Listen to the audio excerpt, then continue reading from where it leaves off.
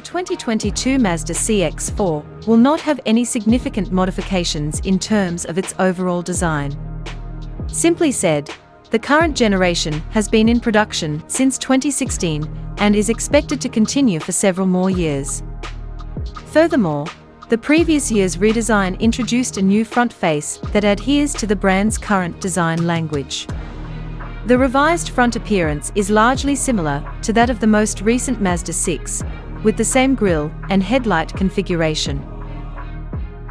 Nothing has changed mechanically since the first introduction, and we don't anticipate to see them in the coming year.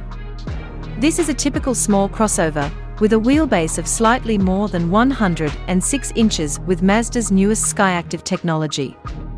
We don't expect significant changes in this area in the coming years unless there is a thorough redesign. We've already mentioned that this vehicle is built to Mazda's high standards.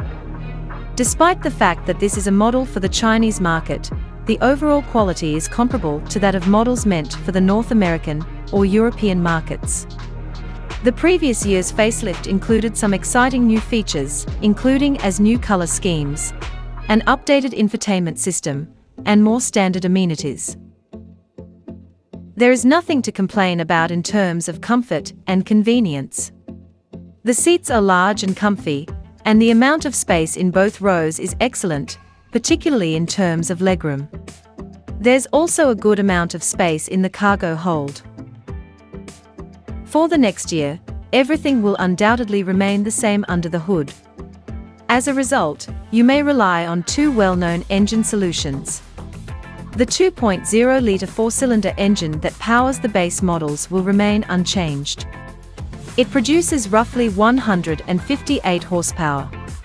This engine is available with a 6-speed manual transmission or a 6-speed automatic transmission.